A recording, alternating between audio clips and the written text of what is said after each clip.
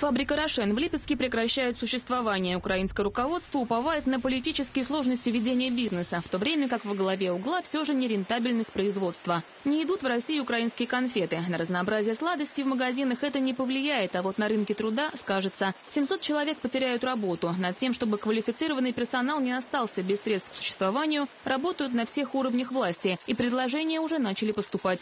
Это и э, пищевой промышленности, те, тот же самый Лимак, вот, у которых э, есть, скажем так, э, подобные профессии, обратился в Центр занятости э, завод по переработке картофеля белой дачи, который будет открываться в особой экономической зоне. К нам обратились специалисты из службы персонала кондитерской фабрики «Славянка», вот, которые готовы э, трудоустроить. Фабрика находится в Старом Осколе. Потенциальные работодатели готовы компенсировать удаленность предоставлением бесплатного жилья. К слову, за последние годы в Липецке это самое массовое сокращение сотрудников. Предыдущее было на том же Рошене три года назад. Что касается безработицы, в целом такой статус в прошлом году получили 3000 человек. К концу года больше половины из них нашли работу.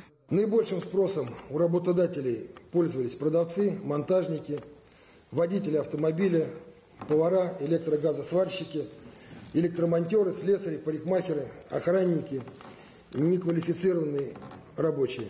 Что касается квалифицированных гуманитариев, им стабильно сложно найти работу, несмотря на то, что в банке вакансий в 2016 году было 15 тысяч предложений. Спрос на бухгалтеров, экономистов и юристов скромный, а число выпускников этих специальностей год от года не уменьшается. Нередко получив диплом о высшем образовании в этих сферах, молодые люди вынуждены искать иные пути трудоустройства.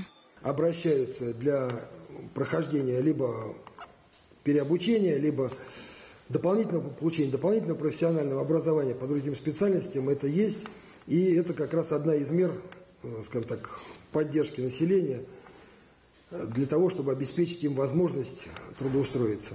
В минувшем году Центр занятости направил на профобучение 570 безработных липчан, а еще провел 21 ярмарку учебных и рабочих мест. Их посетили порядка полутора тысяч человек. Специалисты Центра отмечают некоторые сложности на рынке труда, но нерешаемых проблем среди них нет. Катерина Мелихова, Илья Горский, Липецкое время.